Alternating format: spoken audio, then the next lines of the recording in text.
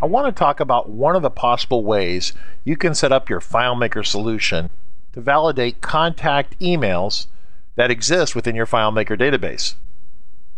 Now, having good valid emails is going to be an important business tool for your organization, but it's also going to be important to your email provider because your email providers are not going to want to see a lot of bogus email addresses being sent out from your FileMaker database or from your email services.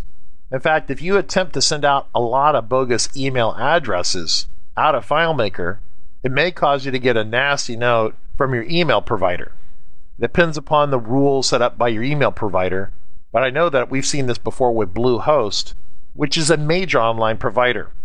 At one point, we had too many bogus email addresses within our email database, and so we got a nasty note from them saying, hey, knock it off. So there are a number of different ways for you to validate your emails within your FileMaker database. Of course, if you have a website, one way to validate your emails is to actually email the client and then actually have them click a link in the email, and that link actually goes back through PHP into your FileMaker database and checks off and validates the fact that the email was proper and accurate. Because the user could never have clicked the link if they hadn't received the email back to their email application in the first place. Now, that's a very common process these days, but what if you have a bunch of email addresses already in your database? You need to look at interacting with an online service to validate that information. Now, recently, we've been playing with this online service called verifyemail.org. They're fairly inexpensive, and for the most part, they work pretty well. I wanted to show you how we set this up within one of our support databases here at RCC. Now, at a very simple level, I have my email field right here on my contacts date entry screen, and I can press this check button right here, and it's actually going to go out to this online service. And if it comes back positive, as in verified, it'll put us a green check mark right here. It'll tell us the date it was verified. It'll give us this little message right here. And it also marks a hidden date field in the system. That way, we know in the future, maybe in six months or so, we can go back and revalidate the email address again. Because as you know, people change email addresses all the time. So it's probably a good idea to have a periodic process where you go back and revalidate the addresses that are in your system. Now, with some of these services, you're going to notice that not every email address can be validated. The way these online services do it, they actually simulate sending an email to that person. And if it looks like the email is going to go through, they give you a thumbs up and say, hey, that's a great email. But a lot of the online mail services don't like to cooperate. Yahoo and Hotmail are two notoriously non cooperative services. So, whenever you get a service like that, you'll get an unverified email status, which means that the email could not be verified. Now, in our database, we have quite a few emails that we need to go back and verify. So, I wrote a process that verifies them in blocks of 20. Now, there's some larger workflow issues here and reasons I did this, really outside the scope of the video. But I decided that there'd be a periodic process that one of our automated robots would run and about every five or 10 minutes, it would scoop up about 20 emails that needed to be validated, and it would validate it on its own. So one of our robots does this for us automatically. When it does it, it does this right here. As you can see, some of these emails are coming back as non verifiable. That doesn't mean they're bad, it just means the mail service on the other end is not being overly cooperative. Now, I can tell you that just looking at email number two, that's not a real email address, and we'll need to go ahead and delete that one. But a lot of times when you have a bad email like that, it'll come back as red. So the question is, how did we set all this up? Well, it's real simple. We pay an online service and we send to them a URL, which includes the email address that we're interested in checking. We use the new insert from URL into a text field. I can press this gear icon right here and it pops a popover menu.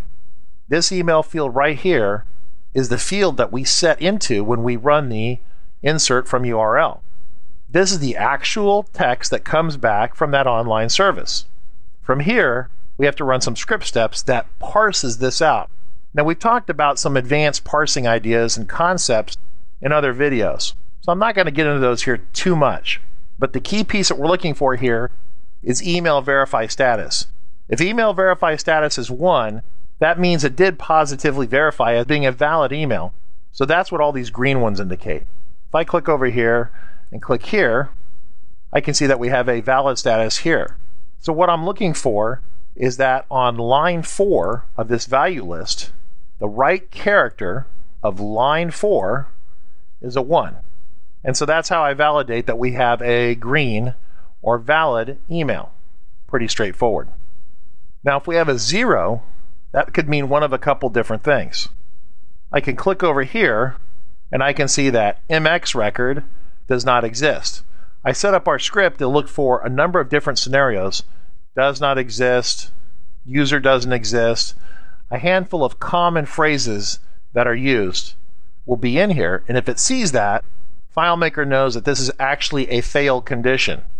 Now, the yellow conditions where it's unable to verify will also have the zero condition too. So FileMaker has to be able to make a determination here. See here we have a verify status of zero as well.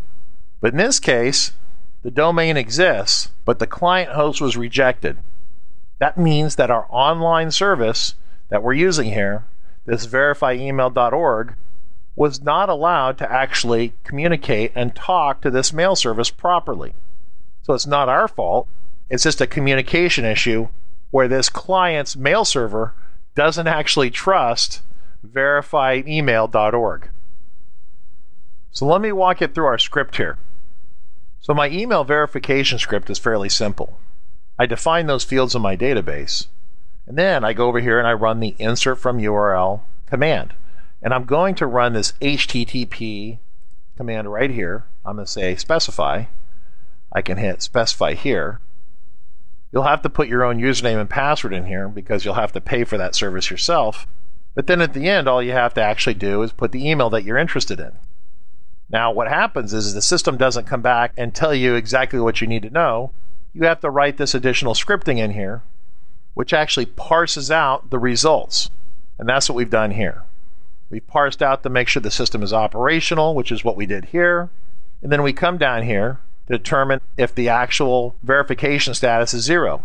If the verification status is zero, we're trying to determine if it's unverifiable or if it's bad. Now, what we do is we're looking for all these conditions here. Does not exist, no such user, the email account you tried is disabled, recipient not found, unknown user, all these types of things. If I find a new situation, I'll put it in here. Now you could search for an error 550, but I found situations where you'll get 550, but it's actually not an error. It's actually unverifiable.